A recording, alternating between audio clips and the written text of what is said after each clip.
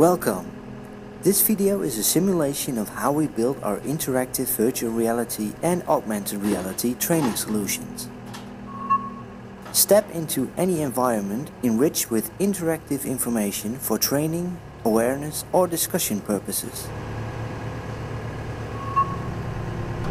This simulation shows a gas plant where a lot of things are not in line with safety regulations. By looking to the red and yellow hotspots, a user can extract information from the location. Red indicates serious threats, where yellow could implicate other forms of information. The impact and immersive character of this new way of training results in more awareness of safety regulations among personnel